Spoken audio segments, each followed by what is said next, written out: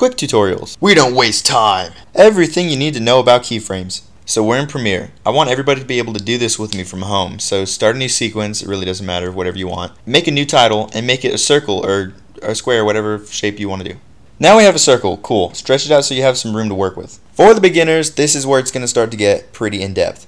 If you click on the title layer and you go up here to this tab that says effect controls, you can control all the video's effects like its positions and I mean anything, any effects you slide on there, right? So you can move it around, but it stays in that spot for the whole video. For the next 10 minutes or whatever, it's going to be in that one spot. Let's say you want to make this title move from one spot to the other. Well, if you come over here on this little stopwatch, this turns on keyframing. So you click on this little stopwatch and it drops a keyframe at that spot. Now what a keyframe is, is it basically tells you, okay, at this point, I want you to be right here. So if you drop a keyframe here, it's going to stay at that spot. What you do is you come over here further on down the video, like five seconds later, and you drop another keyframe with this button right here on the side. And what it does is it's telling it again, be in this position. So you've dropped two keyframes. The first one saying be over here, and the second one saying be over here.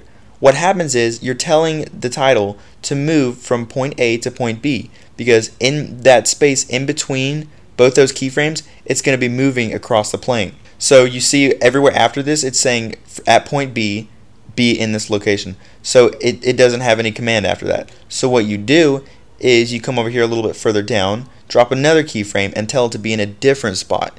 And it will travel, just like the way you told it to, from point A to point B to point C in the amount of time that you told it to. Now this box that we're doing all these controls in is basically a close-up of the layer and you can look at all the keyframes on it. So you can click and drag them further away to increase or decrease the time um, between the, uh, the point, a, point B and point C. You see what I did there between the second keyframe and the third keyframe. I dragged it out a little bit more so it takes more time.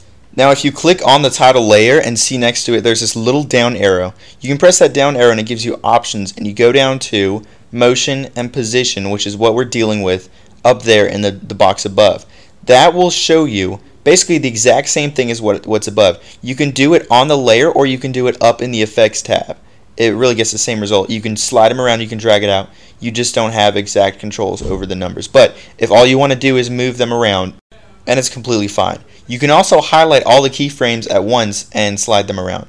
Now here's a really big tip I wish somebody had told me like several years ago and it took me forever to figure it out. If you notice when we were sliding this thing around it was really jagged point A, B, C and you don't always want to go in a straight line and then another straight line and it looks kind of like robotic that way. What gives it a nice curvy feel where it, it's kind of a smooth movement where it like it kind of round and kind of speeds up and slows down nicely is if you highlight all the keyframes you right click and you go down to keyframe interpolation and you make this COS linear that's point A point B and point C you make this continuous Bezier you also do the same thing with spatial interpolation and it'll give it a nice rounded like smooth feel. When you're adding more keyframes, you can just, uh, once you drop the first keyframe, you can roll out to any spot and just move the numbers and it'll automatically drop a keyframe at that spot. Be careful of that because that can really mess you up. Remember, if you have a keyframe at any one frame and you go to a different frame and change its position or its opacity, whatever, it's gonna there's gonna be like a, a, change between the first keyframe and the second keyframe. It works the same with opacity. It works the same with all the other functions. Pretty much everything in After Effects is based off of this. Uh, if you want to get rid of all the keyframes on a layer, all you have to do is go back and click the stopwatch, and most of the time it'll warn you. It'll say it's going to delete all the keyframes. That's fine if you want to do that. What can also mess you up is make sure that you're out on the frame with the actual keyframe on it because if you're one frame over and you drop another keyframe or make any changes to it at all, what's going to happen is you're going to see a change between a that first keyframe and the second keyframe and then the one that you have one second later. So you have to zoom in and always make sure that you're on the keyframe. There's a little arrow next to the keyframe button there's a little left and right arrow.